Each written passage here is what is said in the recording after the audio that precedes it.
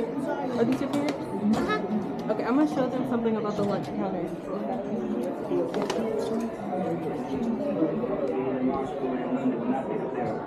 Newspaper for breakfast and realize that America's not living to the dream with liberty and justice for all. The Freedom Riders were marooned in Birmingham after bus drivers refused to transport them any further. I had very mixed feelings. I'd learned to be afraid overnight. I was no longer this fearless rider. I was no longer so interested in dying for the cause. I appreciated being alive. Hurried negotiations between Birmingham officials, Attorney General Robert Kennedy, and his on-the-scene representative John Siegenthaler arranged for the riders to continue to New Orleans by plane. But any thoughts by Kennedy or Birmingham that the Freedom Rides might end was short-lived. Three days later, a new group of students from colleges in Nashville arrived in Birmingham. After failing to secure bus passage to Montgomery, they were arrested by Police Commissioner Bull Connor and driven back to the Tennessee border late Thursday night. They vowed they would return. And within a day, they did. Governor Patterson assured John Siegenthaler that Alabama's Highway Patrol would protect the Freedom Riders. But Governor Patterson's promises soon proved illusory. When the buses arrived in Montgomery, they were met by a mob. Before police could break up the crowd, at least 20 people had been beaten and injured. One of the riders, a white student, was banged up pretty badly. Two other students were hurt. And in trying to rescue a white girl member of the group, an aide to Attorney General Robert Kennedy, John Siegenthaler, was knocked out. The next day, Reverend Martin Luther King Jr., Reverend Fred Shuttlesworth, and James Farmer, the National Director of CORE, arrived in Montgomery for an evening service honoring the Freedom Riders. Gathered in the First Baptist Church, over 1,500 supporters were soon surrounded by a mob of 3,000 who bombarded the building with rocks and bottles and burned cars. Reverend King was on the telephone with Robert Kennedy, entreating him to take action to protect those in the church. Kennedy was simultaneously urging Governor Patterson to disperse the mob. In this situation, I want to make this announcement that the city is now under martial law and troops are on the way into Montgomery. The violence was quelled, and under pressure from Washington, the governors of Alabama and Mississippi both agreed to have state police and the National Guard protect the Freedom Riders. On Wednesday morning, May 24th, state police and National Guardsmen escorted a dozen Freedom Riders from Montgomery to Jackson, Mississippi. Upon arriving in Jackson, the riders attempted to use the white-only facilities and were immediately arrested. Many were sent to Mississippi's infamous Parchman Penitentiary. Refusing bail, the movement called for more volunteers to come to Jackson to be arrested.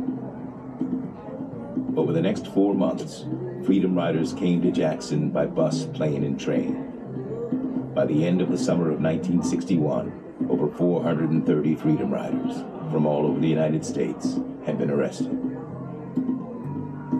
No matter what happens, we're dedicated to this. We'll take hitting, we'll take beating. We're willing to accept death. Going to keep coming until we can ride from anywhere in the South, any place else in the South.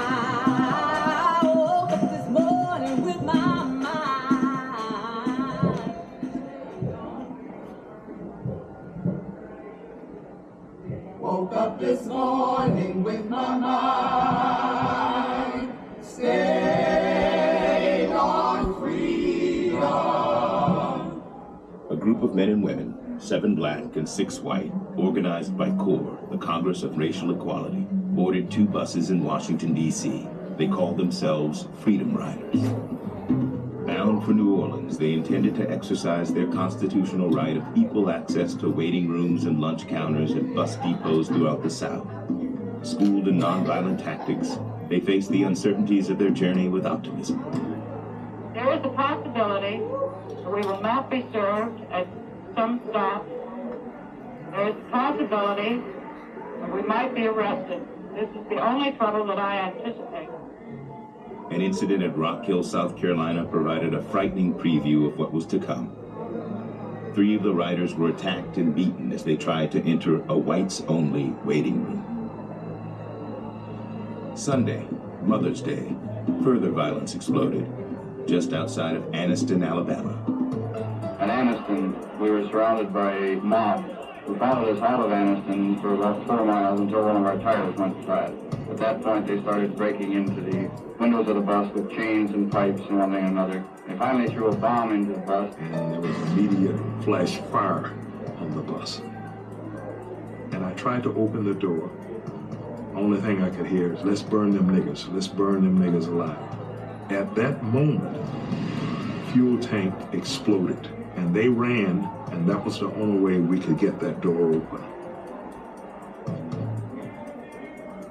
A man came up to me and I'm coughing and strangling. He said, boy, you all right? And I nodded my head and the next thing I knew, I was on the ground. He had hit me with uh, part of a baseball bat. And this is when I see the highway patrolman. He pulls his gun and he fired in the air. He says, okay, you've had your fun. Let's move back. And that's what stopped it.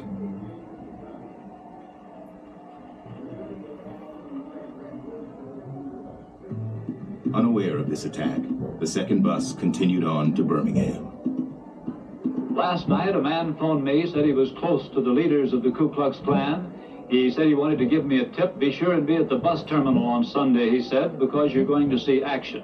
James Peck and I, we were scheduled to uh, test the facilities. So well, he looked at me and I looked at him, and we proceeded to go into the terminal. They took them into corridors and alleys and began beating them, began hitting them with lead pipes and with key rings and with their fists. They knocked one man, a white man, down at my feet, and they beat him and kicked him until his face was a bloody red pulp. The police did not arrive at this this scene until 10 minutes late when these men had, as if on signal, dispersed and had gone further down the street where I saw some of them discussing their achievement of the day right under the windows of the police commissioner's office. Now, I, I hope that these uh, agitators uh, outside of this state who, who are seeking to come here will stay at home and mind their own business. If men like Governor Patterson and Governor Barnett of Mississippi and also Governor Davis of Louisiana would carry out the good oath of their office, then citizens would be able to travel in this country, and then people in Tel Aviv and Moscow and London would not pick up their newspaper for breakfast and realize that America is not living into the dream with liberty and justice for all. The Freedom Riders were marooned in Birmingham after bus drivers refused to transport them any further. I had very mixed feelings. I'd learned to be afraid overnight. I was no longer this fearless rider. I was no longer so interested in dying for the cause. I appreciated being alive. Hurried negotiations between Birmingham officials, Attorney General Robert Kennedy, and his on-the-scene representative John Siegenthaler arranged for the riders to continue to New Orleans by plane. But any thoughts by Kennedy or Birmingham that the Freedom Rides might end was short-lived. Three days later, a new group of students from colleges in Nashville arrived in Birmingham. After failing to secure bus passage to Montgomery, they were arrested by Police Commissioner Bull Connor and driven back to the Tennessee border late Thursday night. They vowed they would return. And within a day, they did. Governor Patterson assured John Siegenthaler that Alabama's Highway Patrol would protect the Freedom Riders. But Governor Patterson's promises soon proved illusory. When the buses arrived in Montgomery, they were met by a mob. Before police could break up the crowd, at least 20 people had been beaten and injured. One of the riders, a white student, was banged up pretty badly. Two other students were hurt. And in trying to rescue a white girl member of the group, an aide to Attorney General Robert Kennedy, John Siegenthaler, was knocked out. The next day, Reverend Martin Luther King Jr., Reverend Fred Shuttlesworth, and James Farmer, the National Director of CORE, arrived in Montgomery for an evening service honoring the Freedom Riders. Gathered in the First Baptist Church, over 1,500 supporters were soon surrounded by a mob of 3,000 who bombarded the building with rocks and bottles and burned cars. Reverend King was on the telephone with Robert Kennedy, entreating him to take action to protect those in the church. Kennedy was simultaneously urging Governor Patterson to disperse the mob. In this situation, I want to make this announcement that the city is now under martial law and troops are on the way into Montgomery. The violence was quelled, and under pressure from Washington, the governors of Alabama and Mississippi both agreed to have state police and the National Guard protect the Freedom Riders. On Wednesday morning, May 24th, state police and National Guardsmen escorted a dozen Freedom Riders from Montgomery to Jackson, Mississippi. Upon arriving in Jackson, the riders attempted to use the white-only facilities and were immediately arrested. Many were sent to Mississippi's infamous Parchman Penitentiary. Refusing bail, the movement called for more volunteers to come to Jackson to be arrested. Over the next four months, Freedom Riders came to Jackson by bus, plane, and train. By the end of the summer of 1961, over 430 Freedom Riders from all over the United States had been arrested. No matter what happens, we're dedicated to this. We'll take hitting, we'll take beating. We're willing to accept death. Keep coming until we can ride from anywhere in the South any place else in the South.